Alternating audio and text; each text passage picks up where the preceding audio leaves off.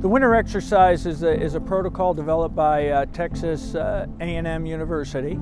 And the idea during this exercise is to take technology or emerging technologies and not only demonstrate the capability, but also to get it out there and put it into the hands of the end users who have to use it and get the feedback. It's a technology demonstration where we can take together innovations, missions, things that we've been hearing from the different responders and really focus on one technology and see how it's working and what the response is, how it can best fit the complex systems that responders have to work in. Well, we are looking at a situation where in, in this scenario where a tornado, an F3 tornado, which is a, a fairly moderate sized tornado, touched ground out at a remote site about nine miles away and stayed on the ground all the way from our Riverside location to here to Disaster City. So over this large area, I have resource requests and needs in two different areas. So I need to balance those with information. We've got the experimental band class 14 uh, network, 4G LTE network, which is the dedicated spectrum under the FirstNet program in a, in a proof of concept setting. Effectively a, a, cellular capability on wheels, what we ca call a COW. Uh, that uh, provides area coverage for this advanced broadband uh, network in that dedicated uh, first responder spectrum.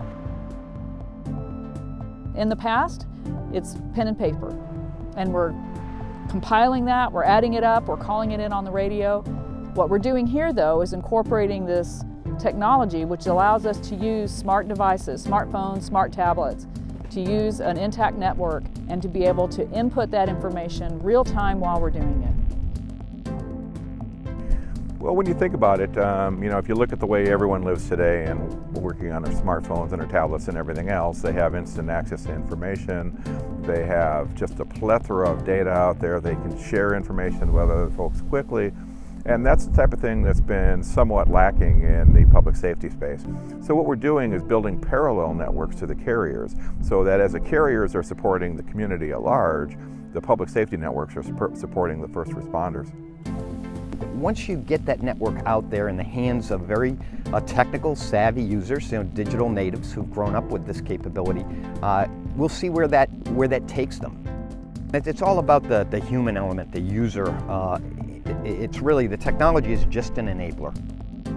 Instead of taking 15 minutes out of every hour trying to get this information gathered and accurately compiled and then radioed in, we're moving the entire time. We can put that information in on the go.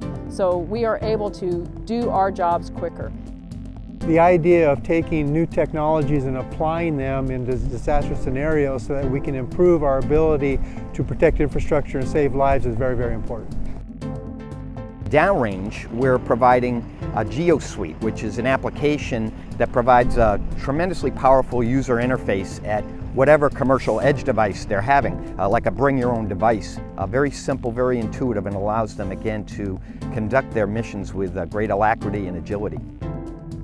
From a standpoint of the everyday citizen, they'll be very comfortable and confident knowing that we are applying every tool, every technique, every possible way that we can help them to survive an event that is a disaster, whether it be man-made or whether it be a natural disaster, so that they can be confident that we're doing our best to help them. It was a very easy process to learn how to use the software, um, to understand how it can be integrated into the search routine uh, to support um, Texas Task Force One in understanding the information that they require, and um, it works very well.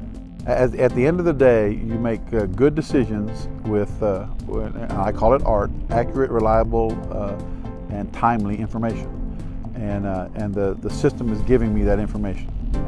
None of these capabilities in the hands of first responders would be possible without the network. That's what General Dynamics C4 Systems provides.